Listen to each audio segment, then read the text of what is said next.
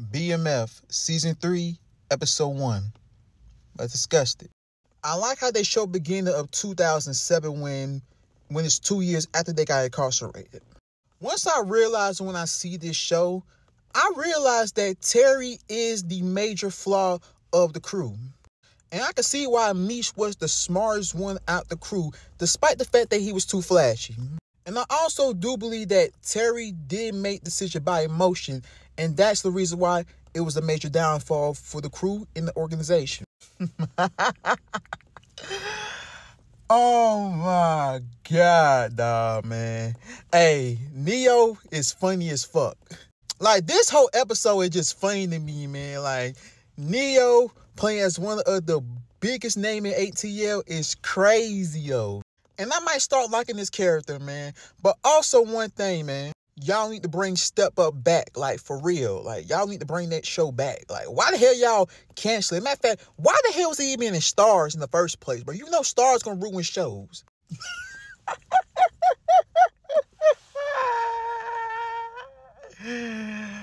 oh boy, I'm gonna be on his ass, boy. I'm gonna be on his ass. 2 Chainz look like he could play live Black Dynamite, bro.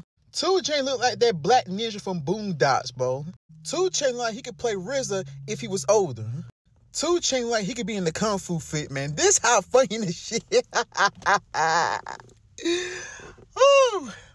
but now, all serious, this man. But like I said, I started not like his character until I realized I was like, okay, I kind of see why because you know his cousin passed passed, and then like he been take care of the business since then, and he feel like somebody take his place is gonna really affect him. But I kind of get what get what he's with his point of view and shit. Remy boy. I like Remy. I think Remy's gonna be a better villain than Lamar was from the first two seasons.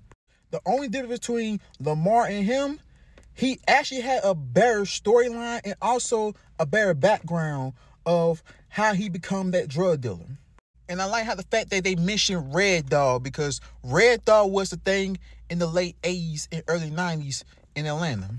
But also what Remy did to that dude in the end of the episode, it show you that he means business and he's going to be a major problem for Meech, BMF, and the whole motherfucking crew. But also we got to keep in mind that the Miami Killers is definitely going to be some serious, serious, serious. You get what I'm saying? But I do want to see this character Glock because I feel like Glock is going to be a major problem for Remy and Meech. But eventually, I feel like Glock and Meech is going to be colliding together to get rid of Remy. I like Sterling's character. Sterling is the real one. Sterling is like the right hand man, the henchman, and the enforcer of BMF.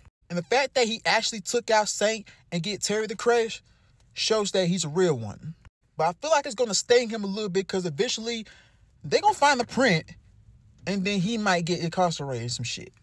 I ain't gonna lie, I don't I don't really care about this character, but I'm gonna give her the benefit of a doubt.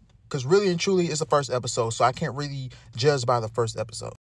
Jen got some tricks on her sleeve. I don't know what she finna do after she take the cocaine as evidence or whatever she gonna do, but she finna pull some strings, bro. I don't know it is, but man, I know it ain't gonna end well for her or the police organization.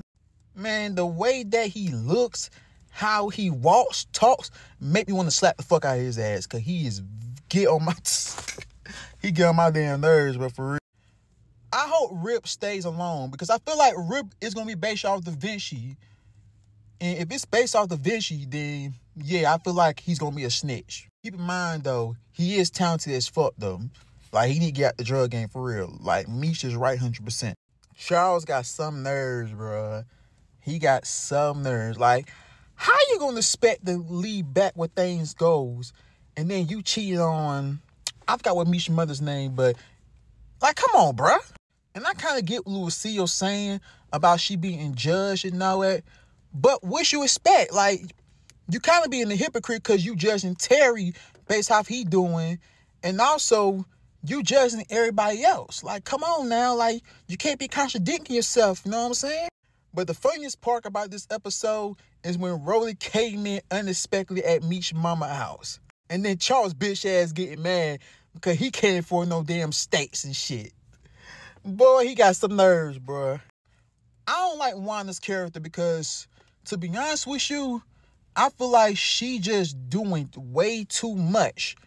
But in this episode, I kind of understand because Terry, bro, come on, man.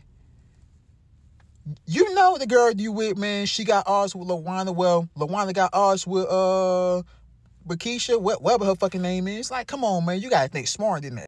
But she can't really get mad because really and truly, you did left Terry like for four months, and Terry moved on real fast. So, what you expect? Overall, first episode was, eh, it was alright. I feel like this first episode was more of a build up. I'm gonna get this first episode six out of ten. 2025, Meech coming home. Terry got to be the one of the most pussy whipped person I ever seen in my life.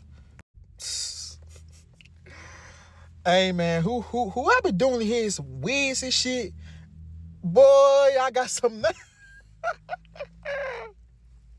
they got two chains looking like black diamond in this motherfucker, bro.